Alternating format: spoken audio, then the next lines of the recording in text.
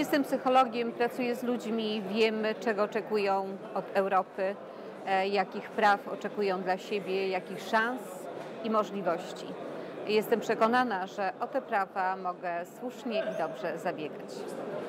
Jesteśmy za tym, aby prawa każdego człowieka, tego z maleńkiej wsi i z maleńkiego miasta, z tego wielkich metropolii, były realizowane zgodnie z ich szansami europejskimi, z możliwościami edukacyjnymi e, i ekonomicznymi.